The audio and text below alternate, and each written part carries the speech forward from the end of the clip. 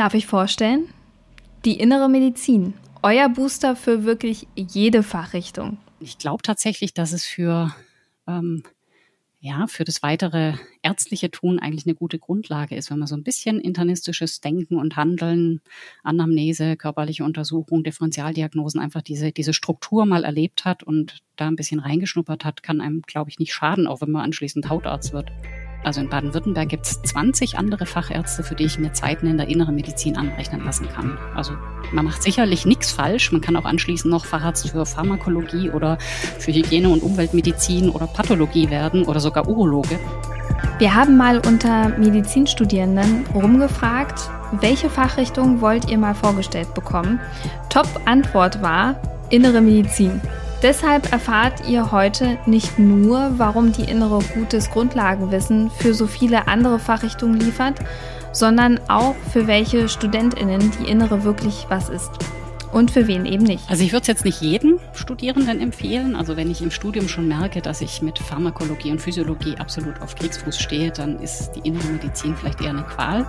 Das ist Claudia Reichle, leitende Oberärztin für innere Medizin und Gastroenterologie an der Tropenklinik in Tübingen. Sie selbst sagt, Innere war nie mein Traum, aber jetzt will ich nichts anderes mehr, weil ich so nah am Menschen bin. Ihr Zickzackkurs in die Innere ist, glaube ich, auch total spannend für viele Unentschlossene bei der Fachrichtungswahl. Ich verspreche euch, so ehrlich und warm habt ihr noch nie Geschichten aus der Inneren gehört. Wie jetzt mit Claudia Reichle. Ruhepuls. Alles für ein entspannteres Medizinstudium. Der Podcast von Via Medici von Thieme. Die innere Medizin ist ja so ungefähr das umfangreichste Fachgebiet überhaupt in der Medizin und hat unendlich viele Spezialisierungen. Damit das aber jetzt heute nicht die allerlängste Folge aller Zeiten hier wird, starten wir mit einer ganz kurzen Frage. Und zwar, Claudia, wenn du an deinen Arbeitsalltag als Fachärztin für innere Medizin denkst, welche drei Begriffe fallen dir da als erstes ein? Gespräche, Visite, Medikamente. Weil es in der stationären inneren Medizin, glaube ich, ein Großteil die Visite ausmacht. Also die Vormittage, würde ich mal sagen, sind größtenteils durch Visiten geprägt und in der Visite geht es viel um Sprechen mit Menschen, um herauszufinden, was für Beschwerden sie haben, wie die Therapie anschlägt, ähm, vielleicht auch rauszuhören, wo der Schuh sonst noch drückt. Und letztendlich ist ein Großteil der inneren Medizin, egal in welcher Subspezialisierung ist eben doch, hat mit Medikamenten zu tun, mit Anpassung von Medikation. Ähm, gibt natürlich, je nachdem, wenn ich jetzt äh, interventioneller Kardiologe bin, dann sieht mein Alltag anders aus. Aber so in der allgemeinen inneren Medizin wären das so meine drei Begriffe. Und der interventionelle Kardiologe ist ja eher so eine Ausnahme, würde ich jetzt denken, in der Inneren als, als die Regel. Wobei, ich würde schon sagen, die innere Medizin, seit ich angefangen habe mit meiner Facharztausbildung, ist, ist zunehmend interventioneller geworden. Also das, was inzwischen auch zum Beispiel in der Gastroenterologie schon an endoskopischen, chirurgischen Interventionen gemacht wird, gab es damals nicht. Und wenn du sagst, dass so eine Visite macht ihr so den, über den Tag verteilt, wie lange dauert das so ungefähr? Weil ich bin jetzt gerade im PJ jetzt ja in der Chirurgie und bei uns dauert so, also wenn ich das jetzt mal an einem Patienten festmache, ich will jetzt nicht böse sein, aber so zwischen fünf und zehn Minuten maximal pro Patient, wenn es hochkommt. Wie sieht es bei euch aus? Also ich würde denken, fünf bis zehn Minuten in der Chirurgie ist schon eine sehr lange Visite. Also ist meine Erinnerung eine andere. ähm, das kommt sehr drauf an tatsächlich, was ich eben für Patienten vor mir habe. Es kann auch mal sein, dass ich in zwei Minuten mit einer Visite fertig bin und es kann sein, dass äh, ein Patient äh, so in der Krise ist, dass ich auch mal 20 Minuten bei einem Patienten ähm, verweile. So in der im Durchschnitt würde ich mal sagen, dass wir jetzt äh, für eine, also für die Patienten, die bei uns einen Assistenzarzt betreut, vielleicht so zwei Stunden ähm, veranschlagen für Visite. Was gehört denn eigentlich alles zur inneren Medizin dazu?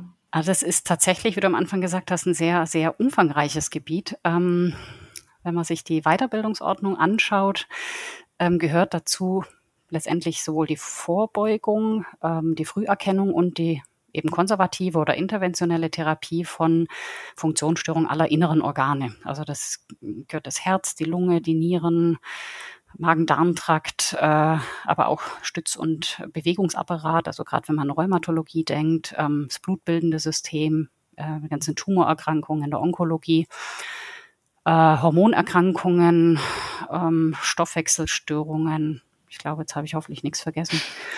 Und was aber auch dazu gehört, was man manchmal vergisst, gerade wenn man nur in der Klinik tätig ist, ist, äh, dass auch zum Fachgebiet die ähm, Gesundheitsförderung gehört und steht ah. sogar explizit drin, dass das sowohl somatisches, auch psychologische und soziale Faktoren beinhaltet. Also ist im, in der Weiterbildung eigentlich ein, ein biopsychosoziales Modell als Grundlage veranlagt. Ah, das war mir jetzt auch ehrlich gesagt neu. Aber es klingt ja spannend. Und wenn das jetzt so ein sehr breit gefächertes Fach ist, ähm, denkst du, dass das zum Beispiel gut wäre für Studenten, die sich vielleicht jetzt nicht so direkt entscheiden können nach ihrem M3, was sie machen möchten und vielleicht da erstmal anfangen und reinfühlen und ein Gefühl bekommen überhaupt für den Arztberuf? Also ich würde es jetzt nicht jedem Studierenden empfehlen. Also wenn ich im Studium schon merke, dass ich mit Pharmakologie und Physiologie absolut auf Kriegsfuß stehe, dann ist die innere Medizin vielleicht eher eine Qual. Ähm, aber ansonsten, ich habe vorher auch nochmal in der Vorbereitung geschaut und es hat mich überrascht, dass es, also in Baden-Württemberg gibt es 20 andere Fachärzte, für die ich mir Zeiten in der inneren Medizin anrechnen lassen kann. Also Ach, man macht sicherlich nichts falsch. Man kann auch anschließend noch Facharzt für Pharmakologie oder für Hygiene- und Umweltmedizin oder Pathologie werden oder sogar Urologe. Also selbst für den Urologen kann man sich sechs Monate eines anderen Fachs anrechnen lassen. Ähm, und ich glaube tatsächlich, dass es für ähm, ja, für das weitere ärztliche Tun eigentlich eine gute Grundlage ist, wenn man so ein bisschen internistisches Denken und Handeln, Anamnese, körperliche Untersuchung, Differentialdiagnosen, einfach diese, diese Struktur mal erlebt hat und da ein bisschen reingeschnuppert hat, kann einem, glaube ich, nicht schaden, auch wenn man anschließend Hautarzt wird. Also letztendlich ist es vielleicht auch ein guter Start und auch keine verlorene Zeit. Ich glaube, das haben viele noch durch das Studium im Kopf, dass sie das Gefühl so ein bisschen haben, sie müssen das jetzt ja alles in Regelstudienzeit durchführen und das zieht sich dann in den Berufsalltag durch. Also man möchte dann keine Zeit verlieren, wofür auch immer. Also ob das jetzt eine Oberartstelle ist oder äh, wo, wohin einen der Weg auch treibt. Aber habe ich so manchmal das Gefühl bei äh, Kommilitonen, Kommilitonen, dass das so die, der innere Druck ist, aber es ist ja eigentlich totaler Quatsch. Also man steigt irgendwo ein und zur Not kann man sich immer Teile anrechnen lassen, so denke ich mir das halt. Und äh, verlorene Zeit ist es nie, weil man lernt immer. Also ich finde das ganz spannend, weil mir ging es damals auch so, dass ich irgendwie dachte, ich muss fertig werden. Und tatsächlich fand ich es also ich habe ja mehrere äh, Prüfungen inzwischen abgelegt und ich fand so nach der ersten, also nach dem, nach dem damals war das noch ein allgemeiner Internist, den gibt's heute gar nicht mehr, ähm, fand ich das total erleichtern, weil ich das Gefühl habe, ich bin nicht mehr so abhängig. Also das war so das Gefühl, ich brauche halt meine Zahlen, meine Zeugnisse vom Weiterbilder etc. Also das, das kann ich schon nachvollziehen, dass man da so ein bisschen unter Druck ist und wenn man freier sein möchte, das Gefühl hat, ich habe einen Facharzt in der Tasche und kann zur Not sagen, tschüss Klinik und ich gehe irgendwo in die Anstellung oder mache was, was mir beliebt. Ähm, das kann ich nachvollziehen. Aber ansonsten würde ich tatsächlich auch, so wie du gesagt hast, die Empfehlung machen, macht das, was euch Spaß macht und schnuppert hier und da und auch mein Weg war jetzt nicht äh, so geradlinig, also da, wo ich jetzt gelandet bin, das habe ich mir am Anfang nicht vorgestellt und es war trotzdem gut, wie es jetzt war. Also von daher. Was genau meinst du damit? Erzähl mal ruhig, das klingt ja. spannend. Nein, ich habe ähm, im PJ im Wahlfach ähm, Psychosomatik gemacht und habe zu dem Zeitpunkt, also ich war schon immer konservativ unterwegs, mir war schon immer Sprechen sehr wichtig und ähm, Chirurgie war für mich ein Graus. Ähm, und dann blieben so irgendwie innere Medizin, Neurologie und Psychosomatik. Da habe ich dann auch Formulaturen gemacht und, und in Kliniken reingeschnuppert und war dann eben im Wahltertial in einer psychosomatischen Tagesklinik und das hat mich total begeistert und zu dem Zeitpunkt dachte ich, hm, ich werde Psychosomatikerin. Hatte dann aber in diesem Wahltertial eben das Gefühl, mir fehlt die Basis. Also ich habe so erlebt, dass viele Kollegen in der Psychosomatik dann einfach nur psychotherapeutisch unterwegs waren. Und ich dachte, Psychosomatik ist ja irgendwie was anderes, also brauche ich da eine Basis. Und habe gesagt, okay, ich fange mit der inneren an und bin dann nie in die Psychosomatik zurückgegangen. Dann hatte ich eben die Vorstellung, ich will einfach die breite Innere lernen. Ähm, bin damals auch an eine Klinik gegangen, die tatsächlich noch einen Chef hatte in der Kreisklinik und, und alle Fachrichtungen beinhaltet hat, was ich, was ich sehr gut fand. Und dann kam irgendwann mal der Wunsch, ähm, ah, ich werde doch Gastroenterologin und ähm, letztendlich bin ich jetzt in der Geriatrie und Palliativmedizin tätig. Also es, ich habe viele Sachen gemacht, die ich jetzt alle gut anwenden kann. Also es hat mir jetzt nicht geschadet, Gastroenterologin zu sein, weil auch in der Altersmedizin viele gastroenterologische Krankheitsbilder vorkommen. Aber ähm, wie gesagt, ich habe jetzt nicht die Karrierevorstellung gehabt, ich muss in sechs Jahren jetzt äh, Oberärztin in der, in der Geriatrie sein. Also das, so bin ich nicht gestrickt, aber es gibt, glaube ich, auch Leute, denen, die haben das äh, vor Augen und denen tut es auch gut, das dann so durchzuziehen. Aber für alle anderen ähm, entspannt euch und macht das, worin ihr gut seid, wo ihr merkt, ähm, man kriegt positive Rückmeldung der Job ist stressig genug und wenn man dann was tut, wozu man sich zwingt oder wo man auch einfach kein Händchen für hat, nur weil man denkt, man muss das jetzt machen, das wird nur nach hinten losgehen. Da ist man irgendwann mal frustriert und ausgebrannt, glaube ich. Das ist ein schöner Hinweis. Und da gibt es ja noch den Weg, dass man direkt Innere plus die Spezialisierung macht und man dadurch Zeit spart und ist dann in der Regel so nach sechs Jahren fertig. Ähm, hingegen gibt es ja das andere Modell, dass man erstmal fünf Jahre Innere macht und dann drei Jahre die Spezialisierung. Gibt es so einen Weg, den du sagst, so, das würdest du eher empfehlen als den anderen? Ich glaube, das ist eine ganz schwierige Frage. Also ich selber habe den Eindruck, dass es ganz gut ist, wenn man eine breite Basis hat, also wenn man auch als nämlich wieder den Kardiologen auch von der Lunge und der Leber Ahnung hat. Ähm, nicht umsonst gibt es sowas wie ein Kardio, ähm, oder von der Niere zum Beispiel ein kardiorenales Syndrom oder ähm, ähnliches. Also man merkt ja immer mehr, dass Organe miteinander sprechen und wenn ich eben mich zu früh nur auf ein Organ in der inneren Medizin fokussiere, habe ich schon den Eindruck, dass ähm, da Patientenversorgung drunter leiden kann. Ich kann aber auch verstehen, wenn jemand sagt, mein Herz brennt nur für die Kardiologie und ich möchte nur das machen und nichts anderes und ich lande dann auch in einer Nische, wo ich nur diese Kompetenzen brauche, dann ist das in Ordnung. Aber für jeden, der sagt, ich möchte dann mal Fall, äh, äh Feldwald-Wiesen-Internist sein, würde ich eher den längeren Weg gehen. Aber auch da kommt es darauf an, wenn ich in einer Klinik bin, die mir diese Ausbildung, also wenn ich einfach nur fünf Jahre trotzdem in einer Spezialambulant lande und keine Weiterbildung kriege, dann bringt das ja auch nicht. Also man muss, glaube ich, eine Stelle finden, wo man dann auch wirklich ähm, breit ausgebildet wird. Also letztendlich muss man einfach für sich gucken, was für einen selber das Beste ist und danach entscheiden. Ja, aber ich glaube, drei Jahre allgemeine innere Ausbildung, man wird merken, es ist eigentlich zu wenig. Also wenn man ehrlich mhm. ist und äh, von allem so ein bisschen was haben will. Man braucht schon, äh, ich glaube, das erste halbe Jahr in der Regel braucht man überhaupt, um sich mit Stationsalltag zurechtzufinden und in der Klinik einzuleben. Äh, so nach einem Jahr hat man vielleicht das Gefühl, dass man das mit Visiten und alles so ein bisschen hinbekommt. Und dann hat man noch zwei Jahre, ähm, geht vielleicht noch auf Intensivstationen, in die Notaufnahme. Da bleibt nicht viel für diese, ich weiß nicht, sechs Fachrichtungen oder so, die ich vorher aufgezählt habe. Die wir jetzt nicht wieder wiederholen. genau. Es soll ja nicht die längste Folge aller Zeiten werden.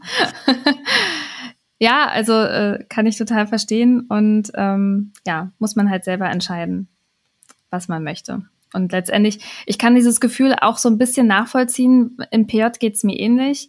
Das ist immer so, man ist an einer Stelle und dann hat man sich irgendwie eingefunden, hat die EDV verstanden und äh, kennt die Patienten so ein bisschen und dann geht man schon wieder weg.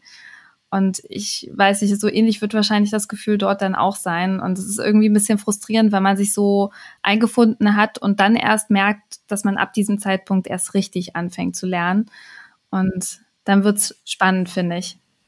Und auf der anderen Seite ist es halt vielleicht auch so, dass die, die ausbilden, ähm, jetzt nicht so viel Energie in Rotanten, die alle sechs Monate oder alle drei Monate wechseln, von denen man das Gefühl hat, man investiert unglaublich viel und eigentlich wollen die ja hm, äh, nicht ja. diesen Fachbereich machen. Also ähm, kann schon sein, dass man da nicht so ausgebildet wird wie äh, jemand, der wirklich sagt, ich möchte jetzt Rheumatologie machen. Ja, das kann ich verstehen. Und jetzt eine kurze Unterbrechung in eigener Sache. Via Medici, das ist eine Lernplattform von Time. Hier hast du Lernmodule, IMPP-Fragen, digitale Time-Lehrbücher, alles an einem Ort. Und mit der Via Medici App kannst du on- und offline lernen, jederzeit und überall. Teste Via Medici jetzt 5 Tage kostenlos. Mehr dazu über den Link in den Show Notes. Und jetzt weiterhin viel Spaß mit Florentine und ihrer Gästin. Wie wichtig ist es eigentlich, dass man für die Innere ein kommunikativer Typ ist? Ähm, ich würde mal sagen, als ähm, menschenbehandelnder Arzt muss ich immer ein kommunikativer Typ sein. Also ich weiß, dass äh, es gibt ja manche, die sagen, als Chirurg muss ich nur gut operieren können und das ist, das ist die Hauptsache, das halte ich für falsch. Ähm, aus dem Grund, wenn ich mir vorstelle, ich bin Patient, was ist denn das, äh, das, der größte Eingriff, der mir passieren kann, ist doch, dass ich mein Bewusstsein ausgeschaltet bekomme, mich in die Hände von einem anderen Menschen gebe, der mir dann den Bauch oder sonst was aufschneidet. Also da brauche ich doch unglaublich viel Vertrauen, erstens in die Indikationsstellung und auch, dass dieser Mensch, der mich da operiert, mich als Menschen betrachtet und nicht während der OP, da gibt es ja auch Studien zu, was das auslöst, wenn man dann während der OP cholerisch mit Messern um sich schmeißt oder ähnliches. Also von daher bin ich nicht der Freund von dieser Aussage, ja, der Psychosomatiker und der Internist, das sind die, die holt man dann zum Sprechen oder den Psychiater. ähm, ich glaube, jeder, der Patienten behandelt, in welchem Fachbereich auch immer, muss kommunikative Kompetenzen haben. Das ist einfach die Basis von, von Arzt sein. Sonst bin ich kein Arzt in meinen Augen. Und dann fehlt, denke ich, auch vielen Patienten Vertrauen. Das ist, äh, unterschätzt man bestimmt, aber das ist einfach, wie du schon gesagt hast, man gibt quasi seinen Körper oder Anteile seines Körpers in fremde Hände. Das macht man ja sonst im Leben eigentlich nie. Und das ist ein ganz ungewöhnlicher Zustand. Jeder, der selber mal Patient war, der, glaube ich, kann das auch irgendwie nachvollziehen. Ich glaube, wir als Ärzte sind noch mit am schlimmsten. Also ich bin auf jeden Fall eine ganz schlimme Patientin. Und ja, das kann ich ganz frei Kenn ich ja. ja, und ähm, also deswegen kann ich das auch gut nachvollziehen. Also kann man eigentlich sagen, dass egal welche Fachrichtung, letztlich muss man oder sollte man vor allem als Arzt oder Ärztin kommunikativ sein, zumindest so kommunikativ, dass man mit Patienten Austausch tritt und denen auch so ein bisschen die Angst nimmt und alles genau erklärt, so wie sie es halt brauchen, weil jeder Patient hat ja einen anderen Anspruch und eine Anforderung. Zum Glück gibt es ja auch Facharztrichtungen, die nichts mit Menschen zu tun haben. Also wenn ich ja, merke stimmt. im Laufe des äh, Medizinstudiums, dann kann ich immer noch Facharzt für Physiologie, Biochemie, Pathologie oder ähnliches Pathologie? werden. Ja, also, ja äh, stimmt. Jetzt bleiben, also es muss jetzt keiner frustriert äh, das Handtuch werfen der sich jetzt durchs Medizinstudium gequält hat und sagt, ich kann nicht mit Menschen sprechen. Äh, man hat ja Alternativen. Also wenn man feststellt, ich kann das nicht, ich kann das nicht lernen und mir fällt es total schwer, ähm, ist so das Schöne am, am Arztberuf. Ja, total. Es, es gibt so viel und so viele Optionen und äh, genau deswegen sind wir heute hier, um das auch kennenzulernen. Gerade jetzt heute die innere. Sag mal, hatte das eigentlich einen Einfluss für dich, welchen Standort du wählst? Also welch, ähm, Klinikum, Niederlassung, äh, hattest du dann Fokus und auch so ein großes Krankenhaus oder ein kleines Krankenhaus? Also damals war es tatsächlich ja so, wie ich gesagt habe, ich war in der Psychosomatik und wollte eben breite Innere als Basis, um dann Psychosomatikerin zu werden. Und ich hatte ähm, tatsächlich gesucht und für mich war es wichtig, eine Abteilung zu finden. Das gibt's ja heute, glaube ich, gar nicht mehr. Ähm, eben eine Abteilung mit einem Chef, der alle Fachbereiche unter sich hat.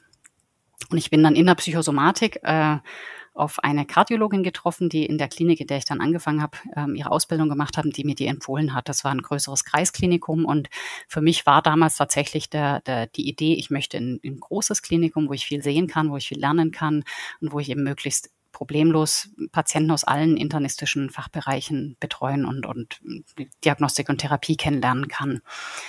Inzwischen merke ich manchmal, also ich bin ja jetzt in einem 90 Betten kuscheligen kleinen Geriatrie- und Palliativmedizinischen oh, Haus. Und ich merke, also wir haben mm, auch viele Assistenzärzte, die jetzt eher zum Beispiel schon von vornherein wissen, sie wollen in die Allgemeinmedizin und brauchen da eben ihre äh, drei Jahre innere Medizin.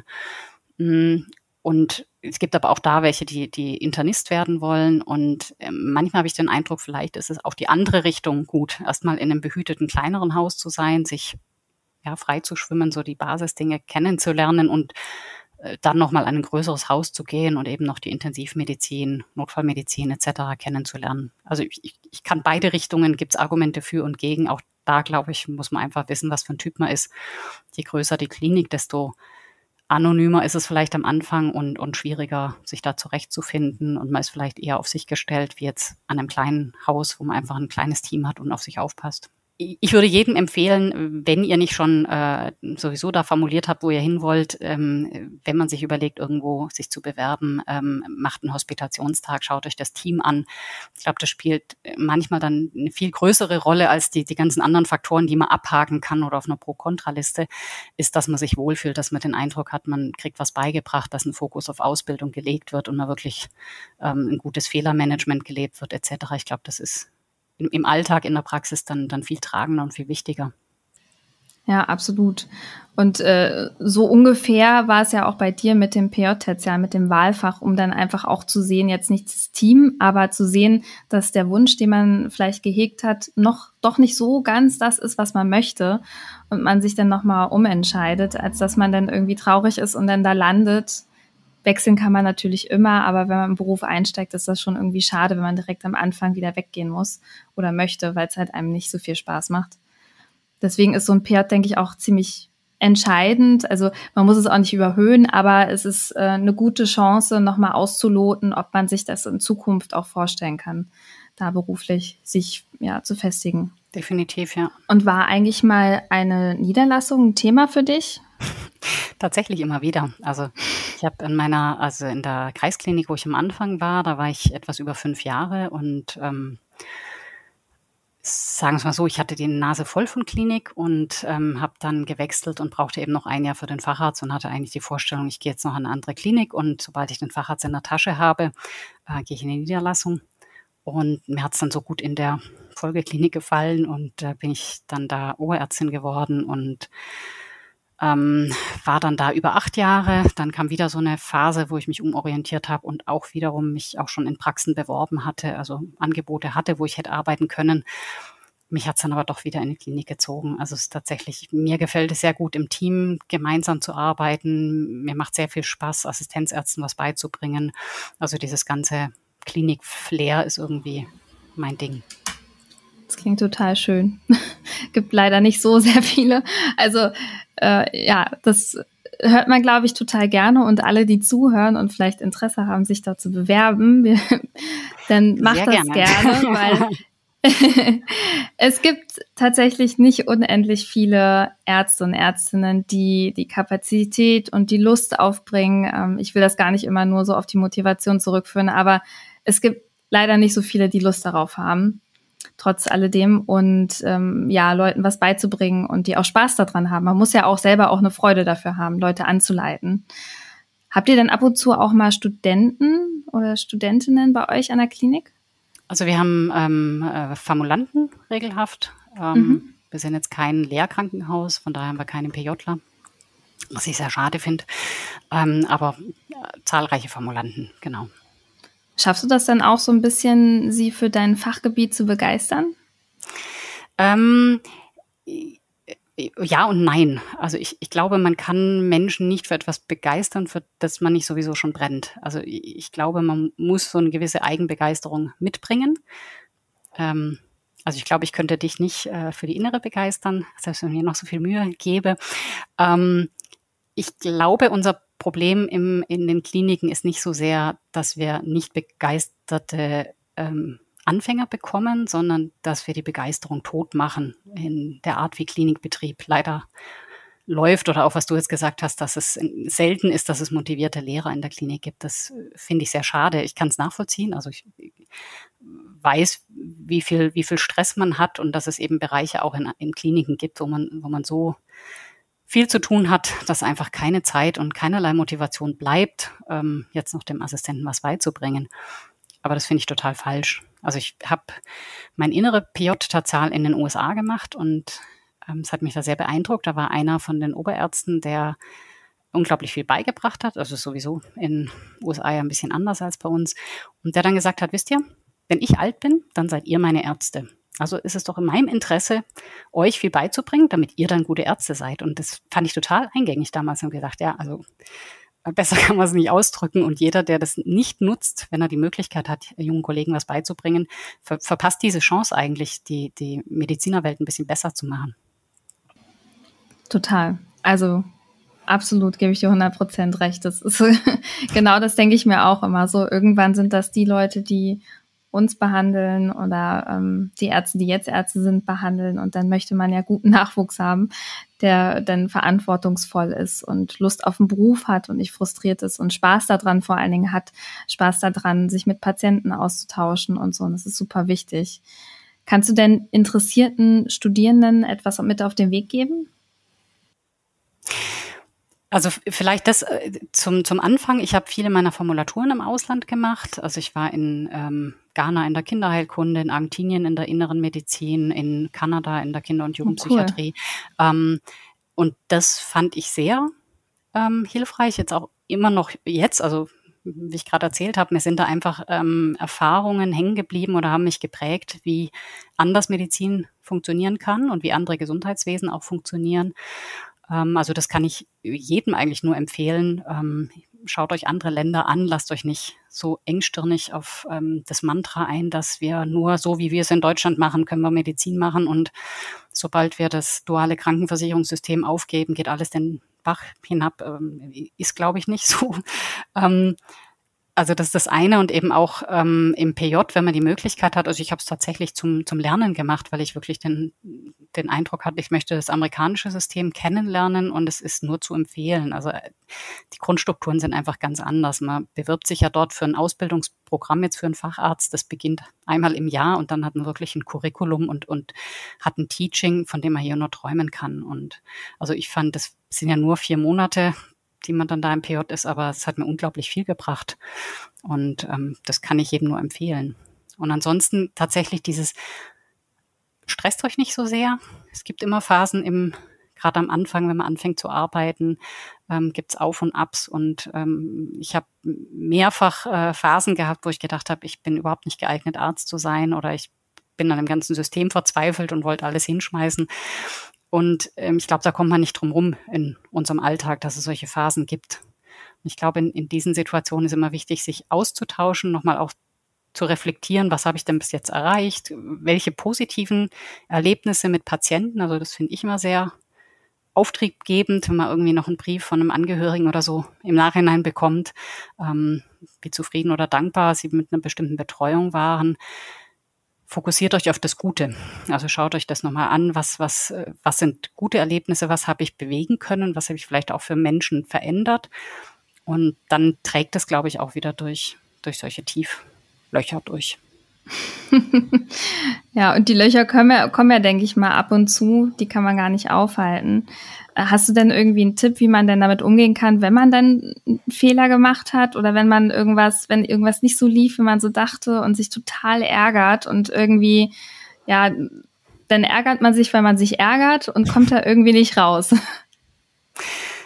Ich glaube, die, das Beste wäre, an einer Klinik oder in einer Situation zu sein, wo ein gutes Fehlermanagement gelebt wird. Dass es einfach ganz selbstverständlich ist, wenn ich einen Fehler gemacht habe, kann ich mit meinem Oberarzt oder Chefarzt oder wem auch immer erstmal darüber sprechen und kann das erstmal einordnen, weil ich glaube, dass man als Anfänger häufig ähm, Dinge, die man falsch gemacht hat, überbewertet. Also da hat man mal vergessen, noch das Labor abends anzuschauen und es hat überhaupt keine Riesenkonsequenz für den Patienten oder es ist nichts furchtbar Schlimmes passiert und man macht sich unglaublich den Kopf. Also ich glaube, das ist ganz wichtig, es erstens nicht zu verstecken, es als ähm, Lernmöglichkeit zu sehen, also nur aus Fehlern, also nicht nur aus Fehlern, aber aus Fehlern kann man sehr viel lernen und ähm, wenn ich so zurückdenke, sind die Dinge, die ich grottenfalsch gemacht habe, die habe ich nie wieder vergessen. Also die ähm, sind sehr wichtig. Und ähm, ich weiß noch, ich habe, äh, weiß nicht, ob das heutzutage noch so im, im Medizinertum äh, kursiert, aber es gibt ein Buch, ähm, ähm, Die verlorene Kunst des Heilens. Von fällt gerade der Name nicht ein, sagt ganz bekannter äh, Lone, Bernard Lone. Also ist auch der Kardiologe, der die Lone-Klassifikation der Extrasystolen erfunden hat, also sehr ja bekannter Kardiologe, ähm, der, glaube ich, auch ein Defi erfunden hat. Und der schreibt in diesem Buch eben sehr menschlich über seine Erfahrungen. Und der hat na, auch erzählt, er hat mal einen Fehler gemacht, wo er einen Patienten fast umgebracht hat. Und anschließend ist er offen damit umgegangen, hat mit dem Patienten darüber gesprochen und hat gesagt, ich kann gut verstehen, wenn Sie jetzt nicht mehr mein Patient sein wollen. Und hat der Patient gesagt, ich wäre ja blöd. Bei Ihnen weiß ich ganz genau, dass Sie nie wieder einen Fehler bei mir machen werden. Also diese Vorstellung, jetzt ist man nochmal ähm, in seinem Bewusstsein geschärft, wenn man Fehler gemacht hat. ist, glaube ich, ganz wichtig. Aber auf keinen Fall reinfressen oder sich ähm, als der schlimmste Mensch der Welt fühlen. Jeder macht Fehler und ähm, das Wichtige ist, wie man mit Fehlern umgeht und dass man sie nicht nochmal macht, dass man sie analysiert und wirklich nicht alleine analysiert und eben in diesen Teufelsgedankenkreislauf kommt, sondern mit Vorgesetzten, die hoffentlich da unterstützend sind. Ja, sehr schön. Also wer nach dieser Folge keine Lust hat auf Innere, dann weiß ich auch nicht weiter. Vielen Dank, Claudia, für deine Zeit. Es war sehr, sehr, sehr spannend. Ähm, also ich wäre gerne Assistenzärztin bei dir, wenn Innere für mich zur Option stünde. Ich glaube, ähm, man merkt dir richtig an, wie äh, glücklich du mit der Entscheidung bist, welche Fachrichtung du gewählt hast. Und äh, ich, ja, vielen Dank für deine Zeit und für die ganzen vielen Informationen zu deinem Fachgebiet. Sehr, sehr gerne. Bis dann. Tschüss. Tschüss. Das war Ruhepuls euer Podcast für ein entspannteres Medizinstudium von Via Medici, dem Lern- und Kreuzportal für nachhaltiges Lernen in der Medizin von Thieme. Redaktion Antonia Köser und Dr. Vera Premusil. Producer Johannes Sassenroth und Moderation Florentine Klemann.